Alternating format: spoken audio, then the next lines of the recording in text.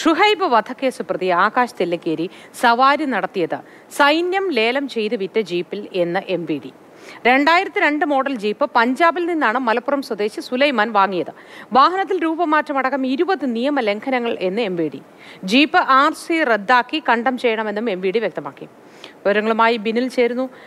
ബിനിൽ ഇത്തരത്തിൽ രൂപമാറ്റം സംഭവിച്ച് ഇത്രയും കാലമായി കൊണ്ടു നടന്നിട്ടും ഈ ഒരു റീൽ ഇറങ്ങുന്നതുവരെ ഇതിങ്ങനെ ശ്രദ്ധയിൽപ്പെട്ടില്ല എന്ന് പറയുന്നതിൽ ഒട്ടും വിശ്വസിക്കാനേ കഴിയുന്നില്ലല്ലോ ബിനിൽ. ആ മോത്തി എന്നാൽ അങ്ങനെ തന്നെയാണ് സംഭവിച്ചത്.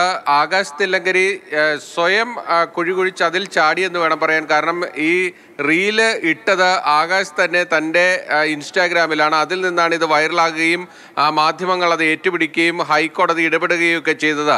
ഏറ്റവും ഒടുവിൽ ആ ജീപ്പിന് സംഭവിച്ചത് ചുരുക്കി പറഞ്ഞാൽ അത് പൊളിച്ചെടുക്കാൻ എം തീരുമാനിച്ചു എന്നതാണ്. അതായത് അതിന്റെ ആർ ബുക്ക് റദ്ദാക്കി ആ വാഹനം കണ്ടം ചെയ്യണമെന്ന റിപ്പോർട്ടാണ് മോട്ടോർ വാഹന വകുപ്പ് ഹൈക്കോടതിയിൽ സമർപ്പിച്ചിരിക്കുന്നത്. അതായത് ഈ വാഹനം പൂർണമായും രൂപമാറ്റം വരുത്തിയതാണ്. സാധാരണ നിലയിൽ രൂപമാറ്റം വരുത്തിയ വാഹനം പൂർവസ്ഥിതിയിലാക്കുക. അതായത് രജിസ്ട്രേഷൻ സമയത്ത് എങ്ങനെയാണോ ഉണ്ടായിരുന്നത് അതേ രീതിയിലേക്ക് മാറ്റുക എന്നതാണ് ചട്ടം.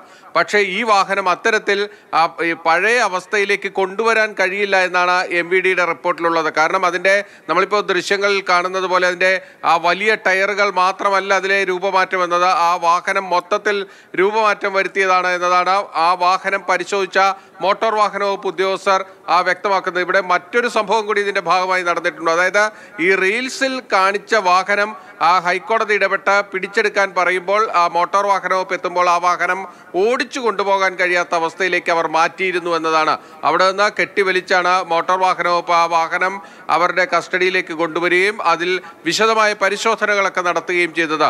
അതിനുശേഷമാണ് ഈ റിപ്പോർട്ട് തയ്യാറാക്കിയിരിക്കുന്നത്. ഇവിടെ മറ്റൊരു സംഭവം കൂടിയുണ്ട്. ഇതിന്റെ ഉടമയ്ക്ക് ഒരു ലക്ഷത്തി അയ്യായിരത്തി അഞ്ഞൂറ് രൂപയാണ് പിഴയായി ചുമത്തിയിരിക്കുന്നത്. കാരണം ഈ വാഹനം മൊത്തം പരിശോധിച്ചു കഴിഞ്ഞപ്പോൾ ഇരുപത് നിയമലംഘനങ്ങളാണ് മോട്ടോർ വാഹന വകുപ്പിന് ബോധ്യപ്പെട്ടത്. അതിന്റെ അടിസ്ഥാനത്തിൽ ഈ ഒരു ലക്ഷത്തിലധികം രൂപയുടെ ചെല്ലാനും അതായത് ആ പിഴത്തുക അടയ്ക്കാനുള്ള നോട്ടീസും ഈ വാഹന ഉടമയ്ക്ക് പോയിട്ടുണ്ട്. അതായത് ഇനി ആ വാഹനം പുറം ലോകം കാണാൻ സാധ്യതയില്ലാതെ കണ്ടം ചെയ്ത് കളയണമെന്നതാണ് മോട്ടോർ വാഹന വകുപ്പ് റിപ്പോർട്ടിൽ ചൂണ്ടിക്കാണിച്ചിരിക്കുന്നത് ഇത് മുൻപ് സൈന്യം ഉപയോഗിച്ചിരുന്ന വാഹനമാണ്. സൈന്യം ലേലം ചെയ്ത സമയത്ത് പഞ്ചാബിലെ ഒരാളാണ് ഈ ജീപ്പ് വാങ്ങുന്നത്. അതിനുശേഷമാണ് ഈ ജീപ്പ് മലപ്പുറത്തേക്ക് കൊണ്ടുവരുന്നത് എന്നതും മോട്ടോർ വാഹന വകുപ്പ് കണ്ടെത്തിയിട്ടുണ്ട്. ശരി ബിനിൽ